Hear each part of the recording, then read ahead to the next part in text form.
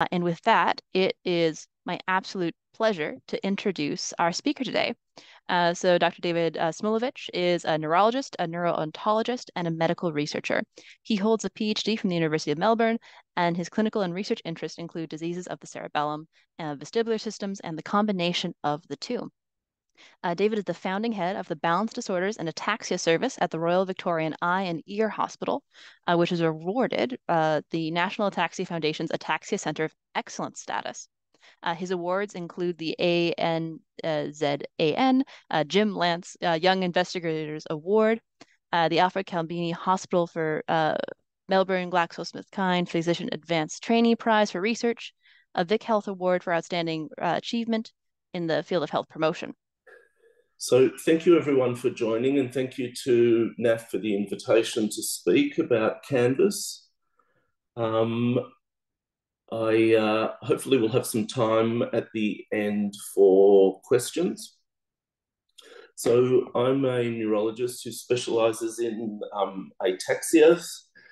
Um, and we uh, we have a large um, clinic here in Melbourne, Australia, uh, and uh, the rest of my time is largely dedicated to um, ataxia research. All right, next slide, please. So just a summary of what Canvas is. So Canvas has three cardinal features as we described it. The first involves an underactivity of the inner ear balance mechanism. So this is the vestibular areflexia vestibular, meaning inner ear balance mechanism.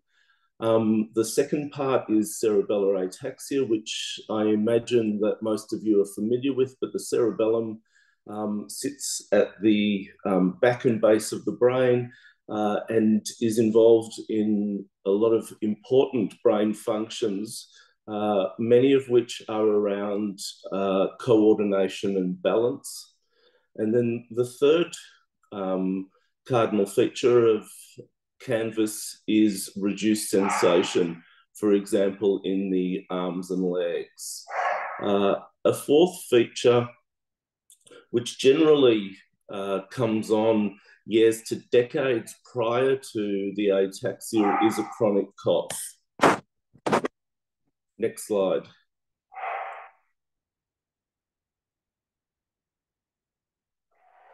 All right, so first up, um, I'm going to talk a bit about the inner ear balance mechanism.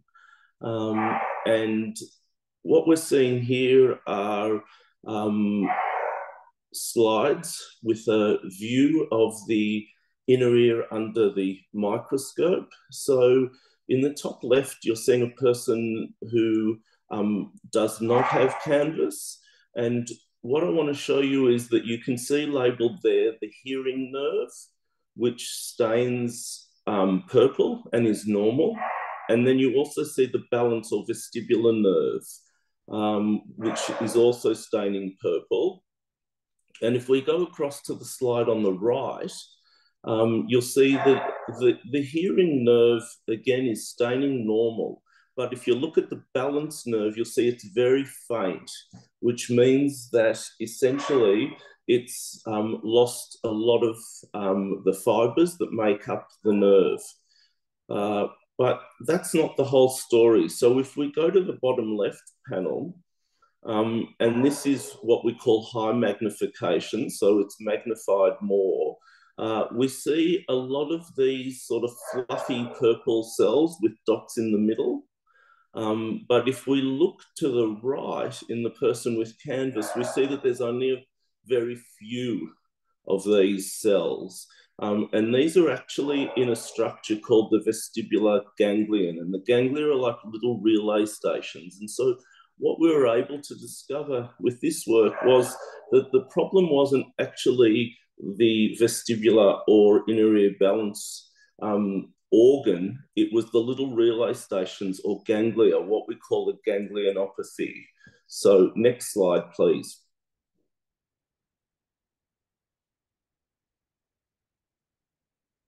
All right, so now the second component, and this is the cerebellar atrophy or shrinkage.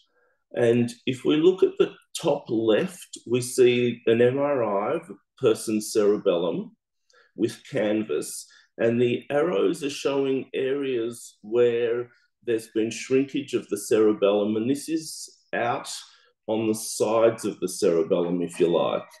And if we look to the right, um, we see the middle or the midline of the cerebellum, and you can see significant shrinkage. And that's all the black parts between the white. The white is the remaining cerebellar tissue.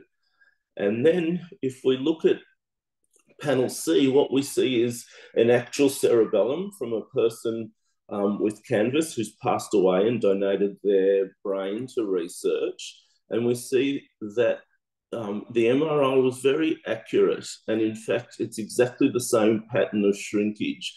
And similar, similarly, I'm sorry, in panel D, we see that in the midline, you're getting the same pattern of shrinkage.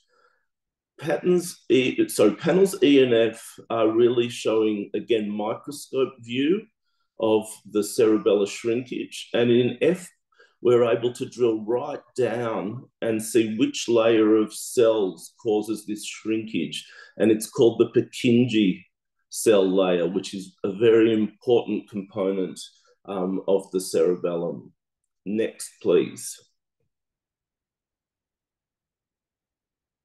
Okay, so then the third component is the reduction in sensation. And just a little bit of background.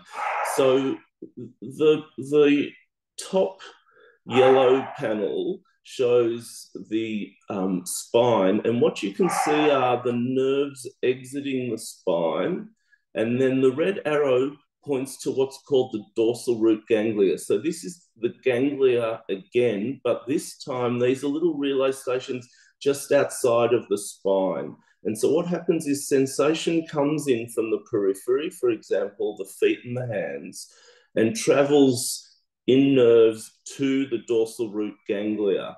And what we were able to find with this work is that those ganglia are also affected. So if we're having a look um, at that microscope picture on the right, you see that there's one or two large round um, cells, which are the sort of pinky color. And really, that's all where that should be full of those cells.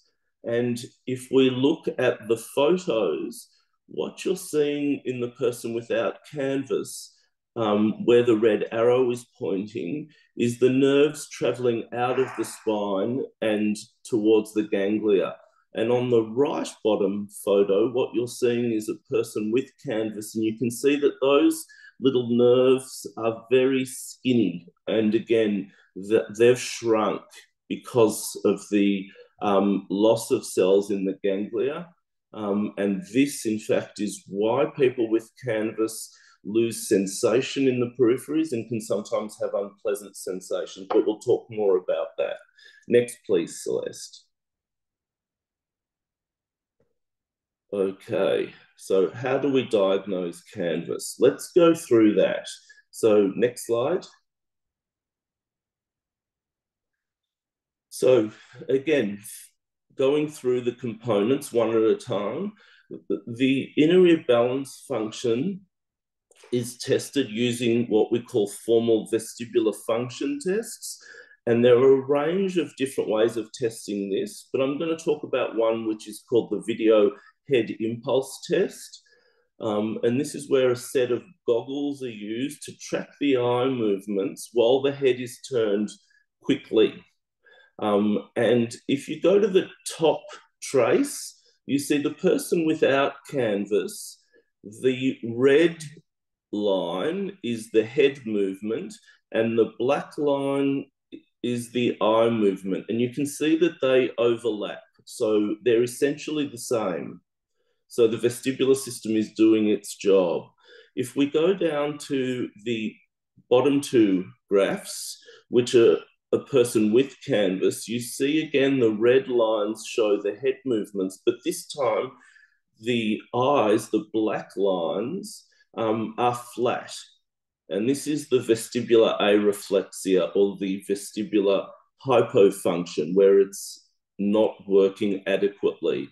And what you see is you see that it's quite flat, and then you see a lot of tall vertical lines, and these are the corrective movements that the eyes make to get back on target. Next, please, Celeste. All right, so then how do we diagnose the cerebellar component? Look, the main reason, the main way we do this is at the bedside with our examination.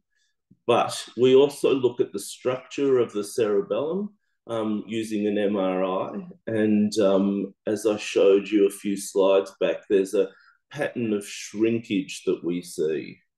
Next, please. And then the third component, which is the dorsal root ganglionopathy or dorsal root neuronopathy. And we can test this at, on, during the bedside examination by seeing whether people are able to feel, for example, um, a sharp stimulus such as a pin um, or vibration. But the most robust way of doing this is using what we call nerve conduction studies.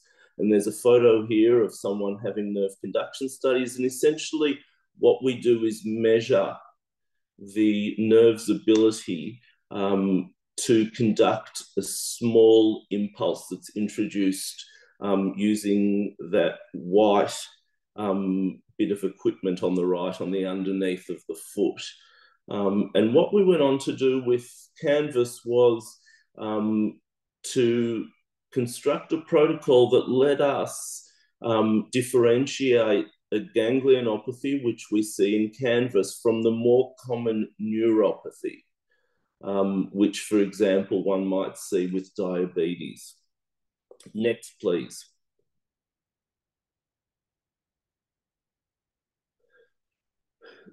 The other thing that's important um, in the diagnosis of Canvas um, is that is this eye test um, called the visually enhanced VOR or VVOR to its friends.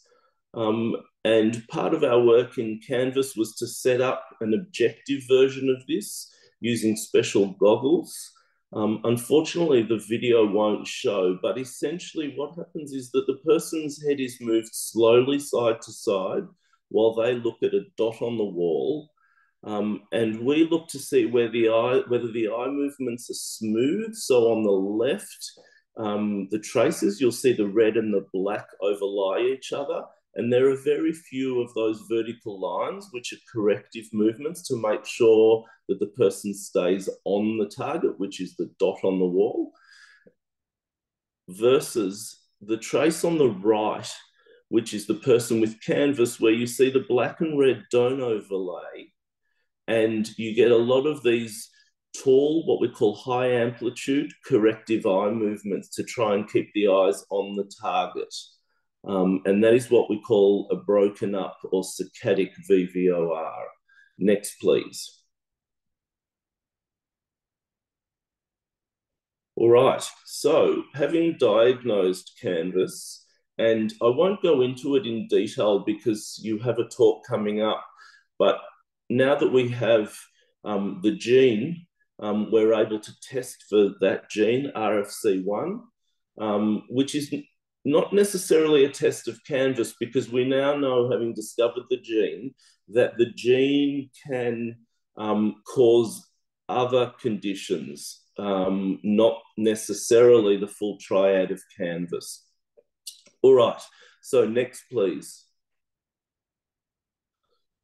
So there are two things that I tell my patients that I'll always worry about when I see them for their um, regular reviews. And one is their swallow function, and two is falls.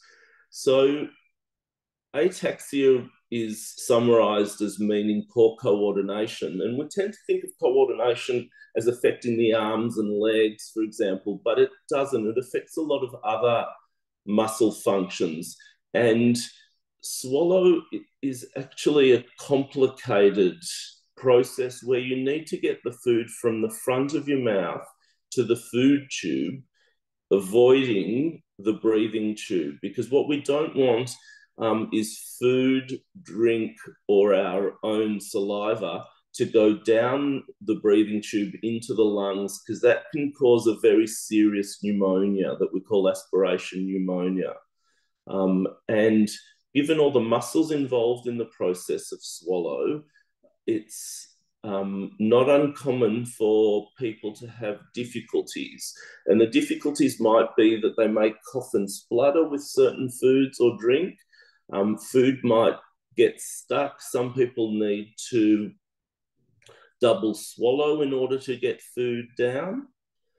And we're always keen to know if this happens. Um, next slide, please. Because what we do is arrange for people to have a swallow assessment um, with uh, a speech therapist. Um, and this is, this is not an invasive process. Um, if the person is having difficulties with swallowing, then it's generally very easy to mitigate or reduce the chance um, of um, aspiration. But the important thing is that um, the person put their hand up um, to make sure that they do get an assessment from a speech therapist who's experienced with swallow assessment. Okie doke, next please. All right, so the second thing is imbalance and falls. And there's an increasing um, body of research evidence to show that specialized neurological physical therapy or neurological physiotherapy um, is effective in reducing serious falls and maintaining a person's um, independent function, so their ability to continue to get around on their own. And it's important that this is specialized um, physical therapy and not just general or what's called musculoskeletal physical therapy. The other thing um, that's very important is having an occupational therapy assessment of the home to identify um, and reduce falls risks and um, as you'll see in the bottom left, often this involves um, guidance on placement of grab rails. The bathroom is generally the most diabolical room, so there are often um, modifications that need to be made. Uh, next, please. So the concern with falls um, is the risk of um, breaking bones. And whilst, of course, we don't want anyone to fall, if they do fall, we'd rather they fall on a strong bone um, than one that's thinned. So, what we um, recommend here is that people have what's called a DEXA bone densitometry scan that looks at the bone density. Um, and if in fact there is bone thinning or what's called osteoporosis, uh, there are drugs which can return bone density. Uh, so this is very important. Um, for some people, calcium and vitamin D may be important um, in maintaining bone strength. But the other thing is exercise because bones require movement and weight put on them in order to maintain their strength or density. Okay, next, please.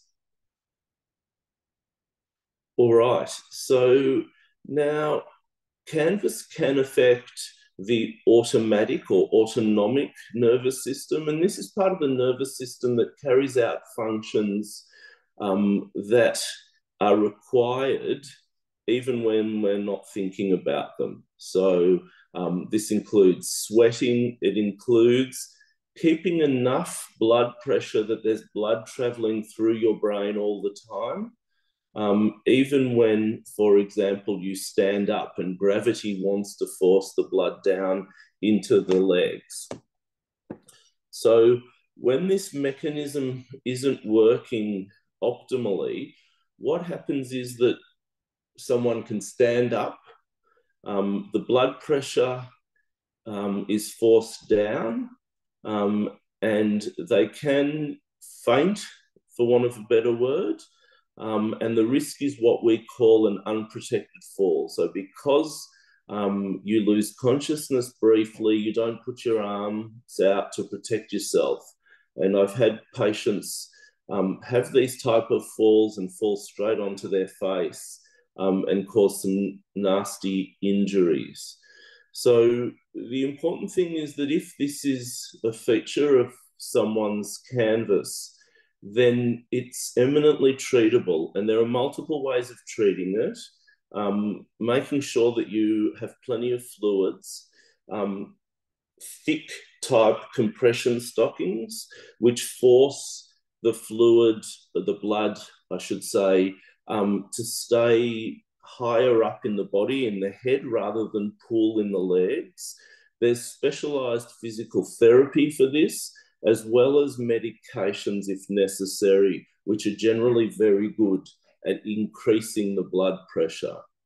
Next, please.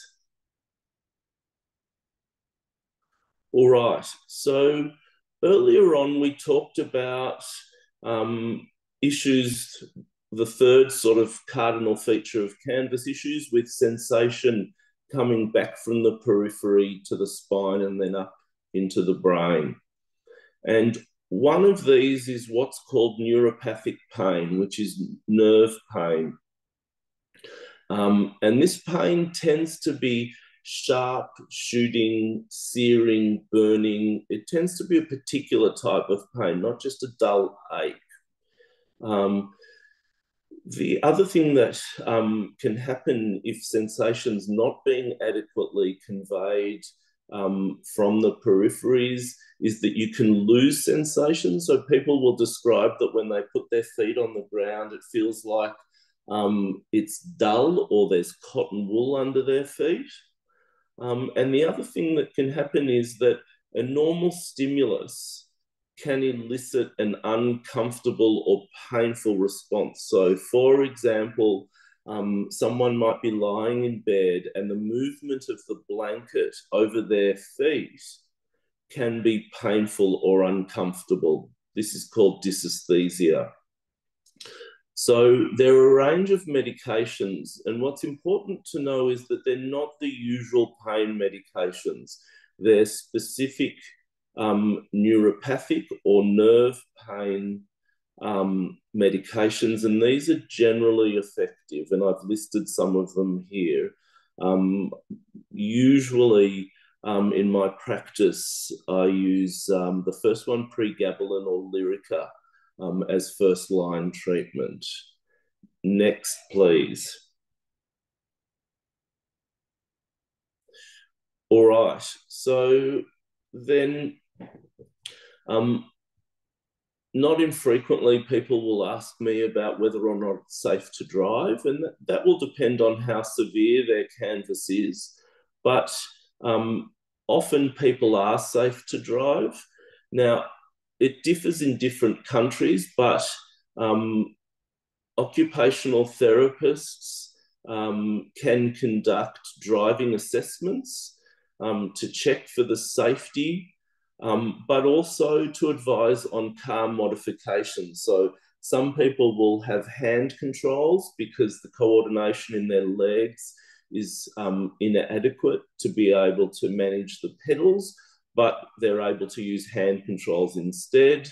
Um, there are specialized, for example, roof rack systems um, whereby a wheelchair can be mounted on the roof of the car and lowered down safely.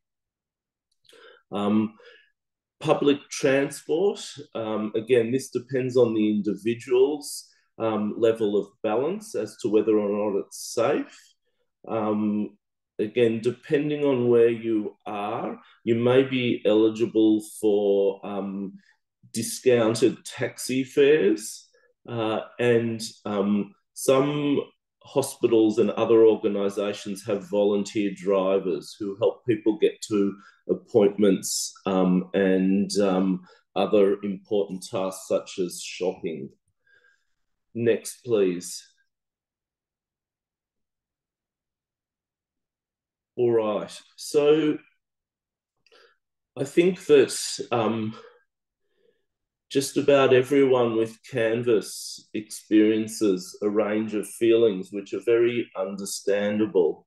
Um, and I think that part of the difficulty is not only that there's a loss of function um, that people have to adjust to, but that because the condition progresses or gets worse over time, um, there's an ongoing process of having to adjust um, to losses over time. So this um, can be helped in a number of ways. Um, some people find it very helpful um, to have contact with people who have a similar condition. Um, and I'm perhaps uh, preaching to the converted here because um, that may be how you got onto NAF in this talk, but support groups are very helpful. Um, and there are large support groups like NAF, and depending on where you are, there are sometimes smaller community um, as well as online groups. There are, of course, health professionals um, such as psychologists or counselors, some of whom um, specialize in um, the adjustment to an ongoing condition, um, such as Canvas. some people find it very helpful to be informed um, and um, the caution here that I always offer people is that, like much on the internet, most of what you read is unreliable. And so, reliable sources such as the NAF and Ataxia UK um, are safe, and I highly recommend them. But just be very careful with what Dr. Google spits out, because I don't think Dr. Google's a particularly good doctor. Next, please. So where to next with Canvas? Um, so we continue to work on what's called phenotyping, which is the details of the condition as it manifests in different people. Um, and we continue to do that in what with what we call objective metrics, so devices to measure this rather than the traditional way of having, for example, the neurologist look and give um, an opinion. Um, there's also active research looking at how the gene, so the RFC1, leads to canvas. So we don't yet understand how that happens. Um, trial readiness data. So gene therapies are on the way, um, and there's a global movement um, to try and make sure that um, neurologists uh, and other doctors involving in seeing people with ataxias, um, as well as researchers, have a central repository of um, patients and their details such that when the drug companies are ready to run trials, they can come to us and say, we want X amount of people um, with this condition at this level of severity, and we'll be able to contact our patients and say, there's a trial if you're interested. Um, and of course, that's to develop disease modifying treatments. Um, and if anyone's interested, we have an ongoing research project um, which tests for RFC1. Unfortunately, it's still hard to get a commercially available test for RFC1. Um, so I can be contacted. Um, my email address uh, was on the first slide. Um, I'm happy for NAF to give that out if um, people are interested in being tested. Next. Um, and that's just a um, reminder for me um, to mention that we were one of two groups who discovered the RFC1 gene, and you've got a, um, a talk coming up from Andrea soon on the details of that. And next, please. And that's just an acknowledgement that this type of research involves lots of people over a long time. And in fact, the discovery of um, canvas as a clinical syndrome was the topic of my PhD, which seems like a lot of years ago now. All right. Thank you.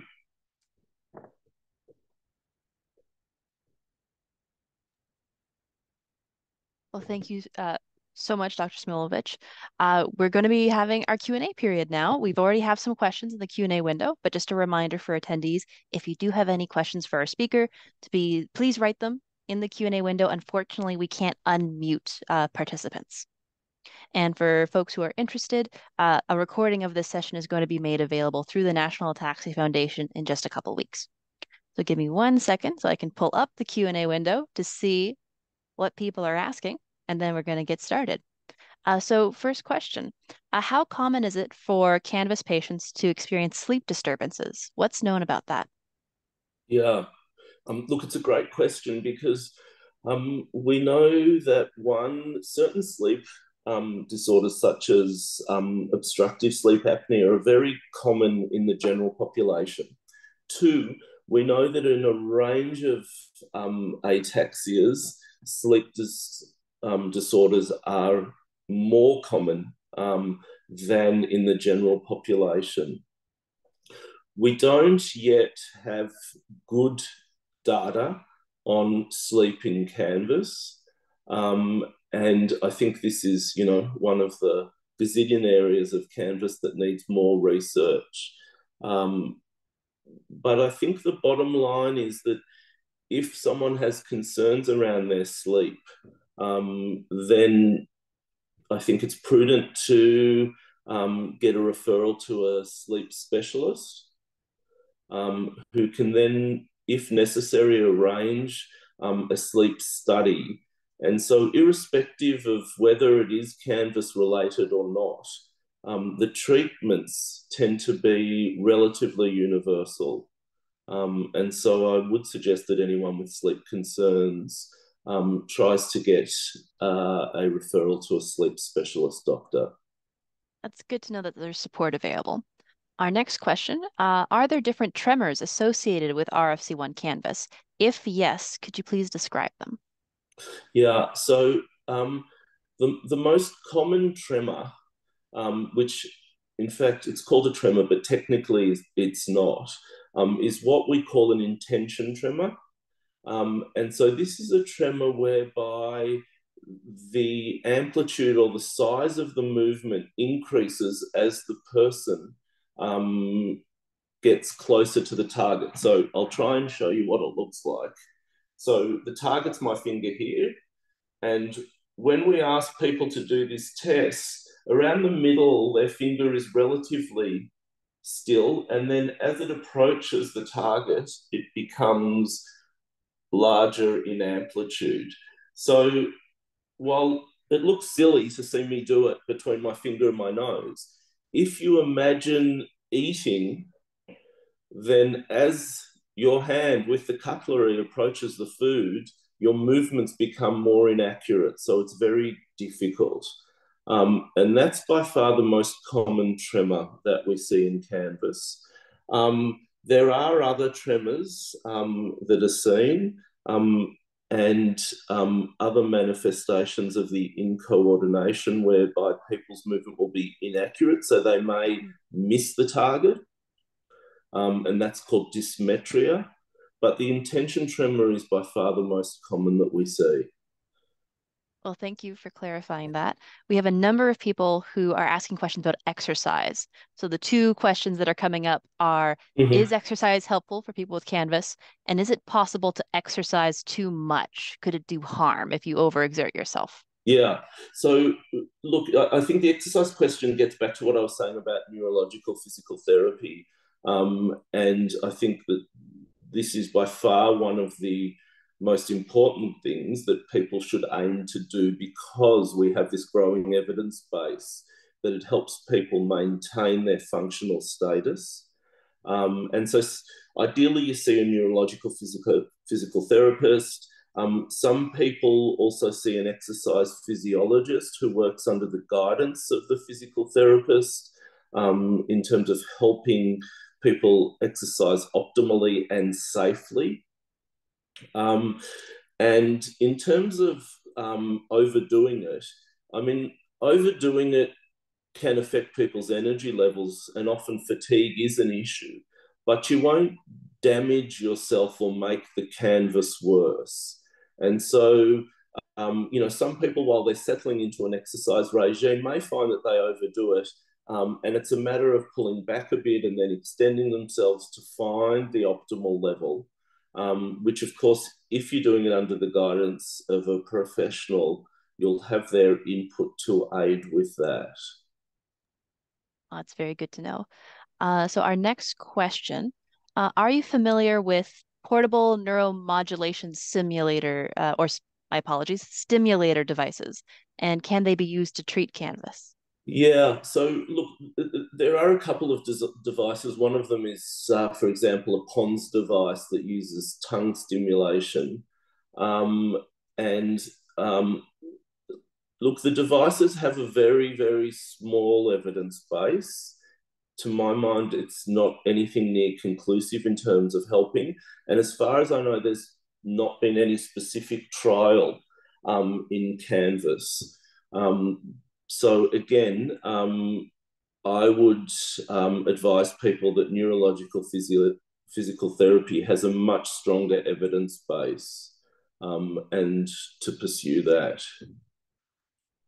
Fantastic. And then we have a few people asking questions about access to genetic testing, which you touched on a little bit before. Mm. Right now in the US, there's uh, two uh, organizations you can go to for genetic testing. Can you speak to uh, what you know uh, that is being done to make testing more widely available? Yeah. So, look, I mean, the issue seems to be that it's not a particularly easy test to perform. And so the commercial laboratories um, are taking quite a while um, to get their testing up and running, um, or some have abandoned it. The other issue is, and that, um, and Andrea will go into this in more detail, but the RFC1, um, the change in the RFC1 gene um, is not unitary. So there's more than one um, chat, there's more than one change. And the commercial tests tend to test for the most common, but they don't test for all the changes, whereas the research um, testing, such that we do, looks for any of the different um, changes that we see in the RFC1 gene. And as a follow up to that, we have a few attendees who uh, are identifying that they're genetic counselors and they have specific questions about canvas mutations. Would they be able to reach out to you for more information? Would you be the best source uh, to discuss that? Yeah, look, ha- happy for people to reach out to me. I'm happy to um, refer people on if um, that if need be for specific questions. But the other thing is um, when Andrea Cortese does his upcoming session, mm-hmm. um, their questions may be answered in his talk. Oh, that's good. So maybe worth waiting until that. But yes, I'm happy to be contacted, of course. Mm-hmm. And then we have another uh, lay audience member question. Why does there seem to be so much uh, variety in Canvas symptoms? Why is it so heterogeneous? Do we know anything about that? Yeah, I, I mean, I'm not sure what's meant by um, the variety. Um, so, you know, as I outlined, you have your sort of three cardinal features plus the chronic cough. Um, each of those sort of cardinal um, features can lead to a range of symptoms. Mm-hmm. Um, and so, you know, I've sort of gone through how, how we understand that. Um, but I'm not sure what you else know, that person's getting at.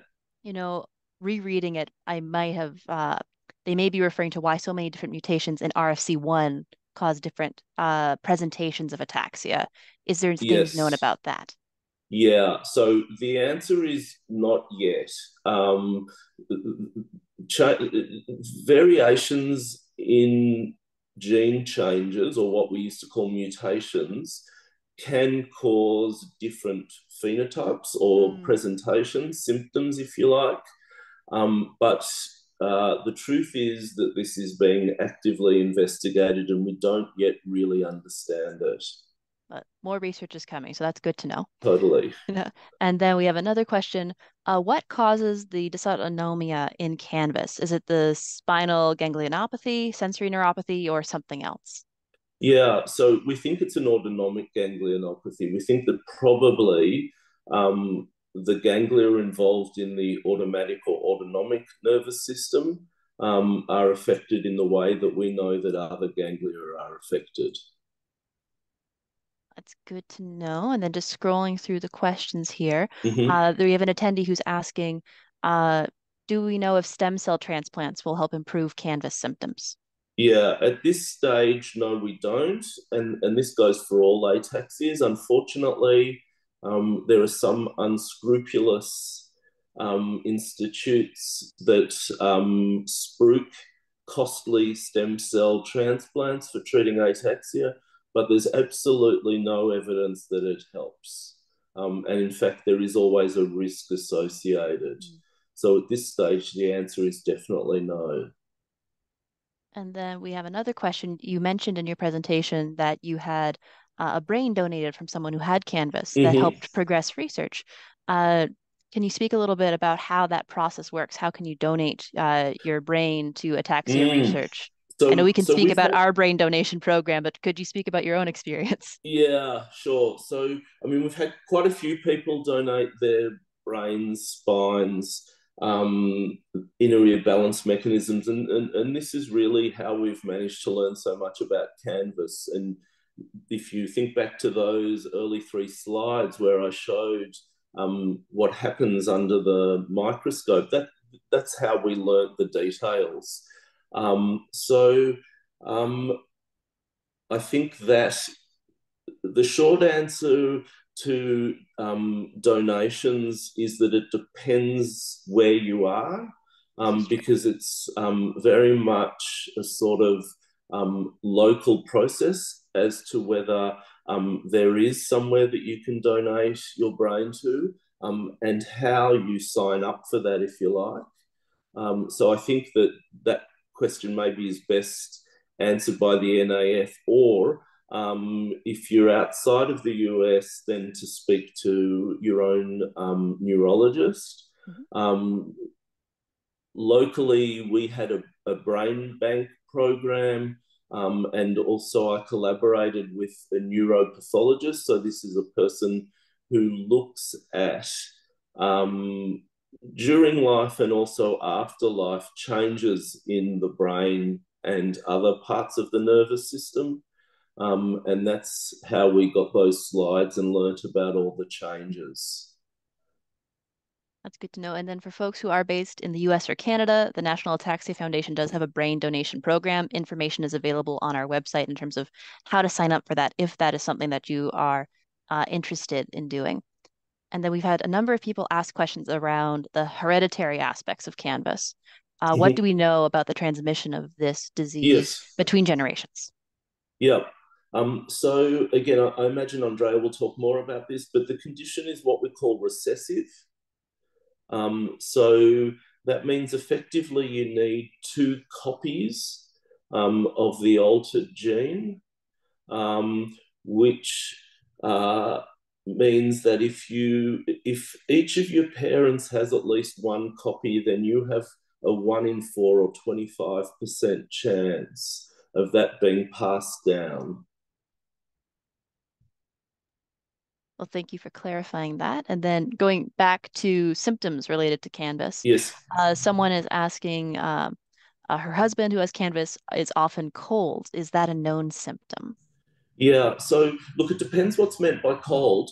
Um, mm. But what some people experience is a sensation of cold, um, often related sort of to their skin, so not deep, but they can feel it more deeply. And that can be um, one of the manifestations of the um, sensory changes that I described whereby um, a normal stimulus can evoke an abnormal sensation. So you remember I talked about something inert like um, a person's blanket brushing across their um, feet in bed, and that that can cause pain or discomfort. Um, similarly, um, the messages can get a bit, if you like, mixed up, and some people can um, experience um, amplified or incorrect um, feelings of temperature, such as cold. Fantastic. Thanks for clarifying that. And our next question uh, someone uh, was wondering what information is available about the progression timeline of canvas when you start to get symptoms how yes. quickly do you develop more symptoms yeah so look i mean not in any way to appear callous but compared to many other ataxias canvas tends to be slowly progressive um, and in fact um, many people with canvas die with canvas, not because of canvas, if that makes sense. Um, it does depend on the individual. It does seem, although we don't know for sure, to depend on how early it starts, but it, it tends to generally affect people when they're a bit older, sort of starting 40 to 60. It can start later, it can start earlier. Um, but again, just as a generalization. And then we've had a few clarification questions come in about the inheritance patterns of Canvas. Could you re-explain that, please?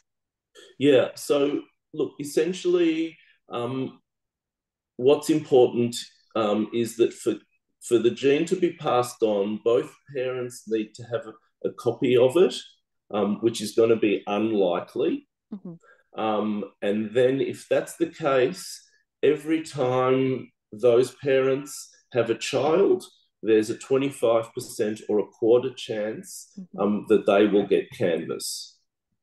Okay, so for the 25% chance uh, to pass it on to kids, both parents need to have canvas. Well, both parents need to have a, at least one ah. copy of the gene. They don't have to have canvas. They can have just one copy, not 2 mm-hmm. So you can carry it and be unaffected. Thank you for re-explaining that. And then just going through the questions again, we'll run a little bit over time just because we started a little bit late. Um, Is it possible for someone who has a mutation in RFC1 to get some of the symptoms of canvas, but not all of them? In yeah. that case, uh, how would that work? Yeah, so it is. And this is something we're learning about. So people can have different phenotypes, not necessarily canvas. So mm-hmm. um, I've seen patients who have, for example, the sensory change and the inner ear balance change, but not the cerebellar change.